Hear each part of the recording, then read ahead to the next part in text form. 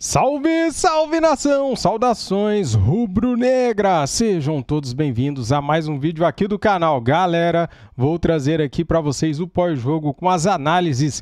Que jogaço foi esse? Flamengo 1, Internacional 1. Um belo jogo, galera. O empate foi justo? Podemos discutir, porque foram criadas várias chances de ambos os lados, tanto para o Flamengo quanto para o Internacional. O Internacional jogava em casa, mais de 60 mil pessoas no estádio do Beira Rio. E o Flamengo, cara, fez um belo jogo, um bom jogo. Eu gostei do jogo, não gostei do resultado, mas gostei do jogo.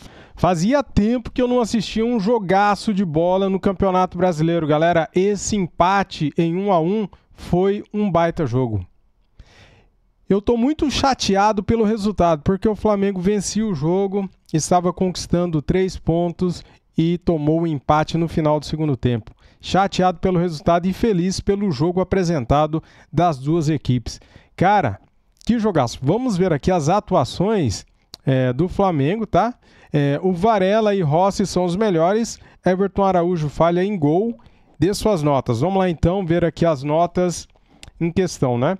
O Rossi teve uma nota 7.5, o Varela teve uma nota 7.5 também, Fabrício Bruno 5.5, Léo Ortiz nota 6, Ayrton Lucas 4.5. Vai comentando aqui se você concorda ou discorda das notas e qual nota você daria para cada jogador, tá bom? Everton Araújo estava fazendo. Que pecado, galera! Tava fazendo um baita jogo e infelizmente ele falhou e o gol saiu, né? Infelizmente, nota 4.0.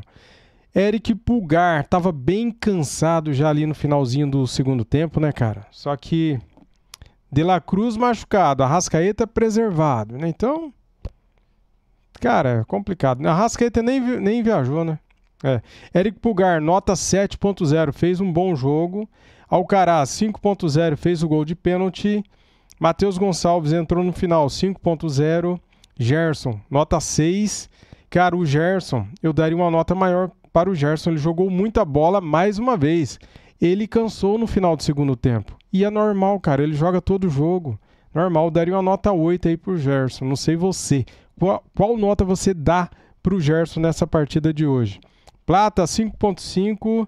Michael entrou também no segundo tempo, 5.5. Bruno Henrique, 5.5. Felipe Luiz, nota 5. Tá aí, galera, as notas. É, cara, um empate. Quando você está vencendo o jogo e, e o adversário empata no final, é triste, né? É foda. Quando você está perdendo e empata no final, é legal, mas quando você cede o empate, é frustrante, né? Mas eu vou me apegar ao belo jogo de futebol que eu assisti hoje, tanto no primeiro tempo quanto no segundo tempo, cara. É isso aí. Flamengo, o Flamengo bateu de frente com o Internacional no Beira-Rio lotado, Flamengo desfalcado. Flamengo vai Flamengo está priorizando a Copa do Brasil, né? Vários jogadores aí desfalcaram. O Flamengo hoje no total tinha 10 desfalques. 10, contando os lesionados, tá bom? Então é isso que eu acho. Fim de semana, temos aí a final da Copa do Brasil no Maracanã. Temos que vencer esse primeiro jogo para ter uma gordura para o segundo jogo. Valeu, galera. Tamo juntos. Ó, antes de sair do vídeo, deixa o like, se inscreva aqui no canal e ative o sininho. Saudações rubro-negras. Fui.